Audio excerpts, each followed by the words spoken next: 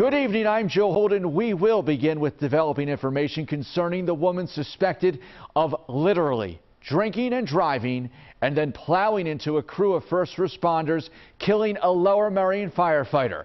A short time ago, CBS 3 obtained these arrest papers filed against Jacquelyn Walker. She is the Little Egg Harbor woman seen right there charged with vehicular homicide by DUI in the death of firefighter Thomas Royds. The paperwork lays out in detail how Walker was seen crashing into emergency crews on the shoulder of I-76. Police say immediately after the deadly collision, Walker was heard repeatedly saying, oh my God, before they say she dumped out a cup filled with brown liquid.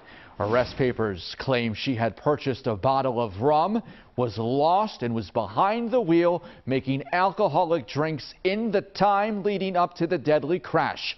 In a purported statement to prosecutors, Walker claimed her brakes wouldn't work and estimated she was driving 40 miles an hour. The documents also say she told police she thought the crash happened at 5 p.m. In actuality, it was 3 in the morning. Tonight, arrest papers show two other firefighters and a state trooper suffered severe injuries. We are withholding their names at this time.